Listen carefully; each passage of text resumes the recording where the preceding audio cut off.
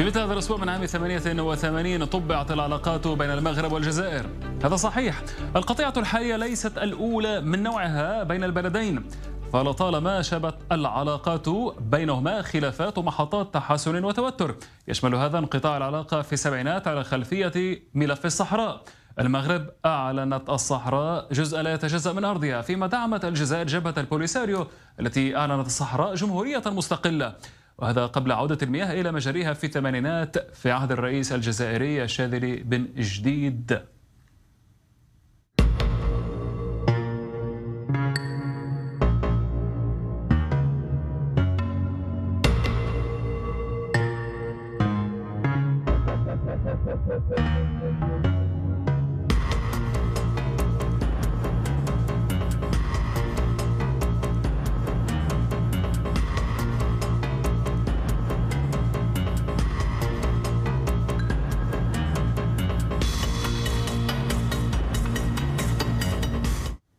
وينضم إلينا زميل الصحفي والخبير في الشؤون المغاربية سعيد العفاسي، سعيد اذا القطيعة الحالية ربما لمن لا يعرف هي ليست الأولى من نوعها لطالما كانت هناك تذبذب في العلاقات ومن بين محطات التحسن هي المصالحة التي جرت عام 88 في عهد آه، الملك الحسن الثاني الراحل ورئيس الجزائري الشاذلي بن جديد.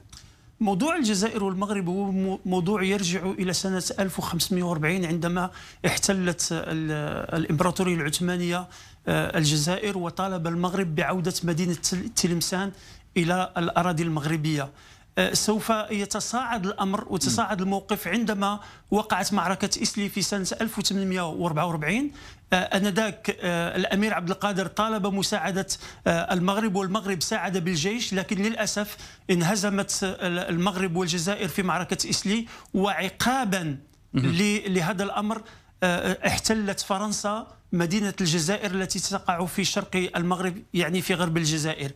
تصور معي أن هذا هذا الأمر سوف تعقبه أن المغرب ذهب ليساعد وفي الأخير وجد نفسه محتلا من طرف عقابا لماذا ساعدت الجيش آه، الجزائري. ستستمر الوضعية إلى هاد آه، إلى ما بعد الاستقلال قبل الاستقلال بسنة المغرب طبعا المغرب آه، آه، آه، سوف نأتي إلى سنة 1963 في في الاستقلال المغرب. المغرب طلب الجزائر للجلوس إلى طاولة المفاوضات من أجل تحديد الحدود قبل مغادرة فرنسا لكن الجزائر قالت بأن هذا الأمر يختص ما بين المغرب والجزائر ولا دخل لفرنسا في هذا الأمر. عندما خرجت خرجت الجزائر فرنسا من المغرب سنة 1956 وخرجت من الجزائر سنة 1962 سيطالب المغرب بعودة تندوف وبعض الأراضي من بشار إلى المغرب لكن الجزائر رفضت وهنا ستقام معركة آه، أو حرب الرمال سنة 1963 سوف تتدخل فيها مصر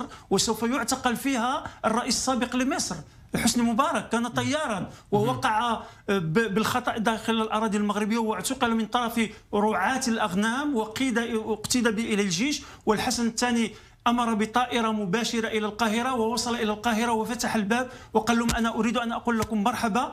هذا طياركم من أربعة الذين تقول أن لا دخل للجزائر للمصر في الحرب الرمال الدائرة. فصمتت الجزائر واعتذرت فيما بعد. لكن الأمر سوف يتطور أكثر في معركة أمقالة الأولى ومعركة أمقالة الثانية سنة 1969 وكانت حاسمة من طرف صحيح. المغرب.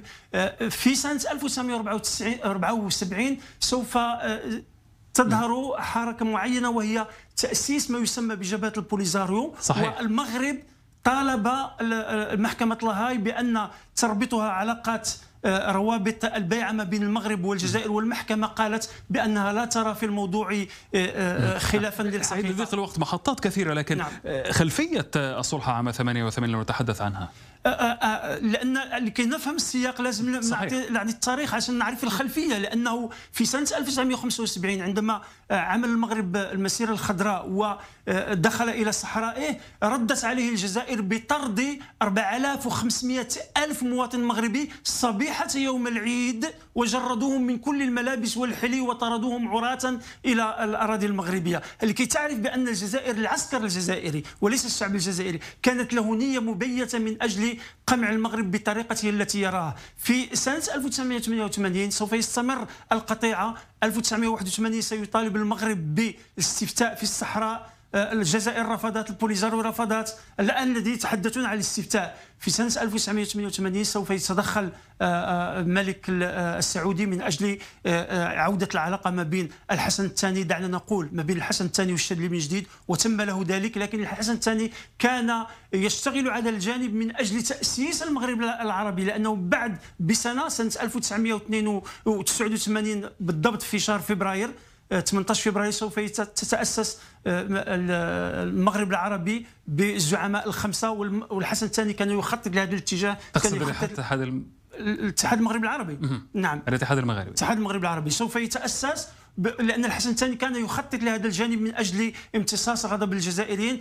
آه، للأسف سنة آه، سوف تعرف الجزائر ثورة عارمة في ما يعرف بالعشرية السوداء عندما انتخب الإخوان المسلمين داخل الجزائر لكن السلطة رفضت. آه، سوف يأتي بوضياف بعد الشذل من جديد ويقتل بوضياف بدعوى أنه جاء من خلفيه مغربيه والمغرب هو الذي دفع بأن يكون رئيس بوضياف رئيسا للجزائر حتى يسوي ملف الصحراء ومسلم البوليزارو لكن للأسف هذا لم يكن حقيقة. سوف تتطور الأمور أكثر عندما فجر آه، آه، فندق إسني في مراكش نعم. واتهمت الجزائر بأن هي التي آه، افتعلت هذا الموقف. أنذاك الجزائر قطعت العلاقة واستمرت إلى اليوم. أشكرك سعيد. وللأسف حلم الاتحاد المغربي لم يتحقق الآن. والآن هناك قطيعة أخرى بين البلدين. سيد العفاسي الصحفي الخبير في الشؤون المغربية. شكرا جزيلا لك.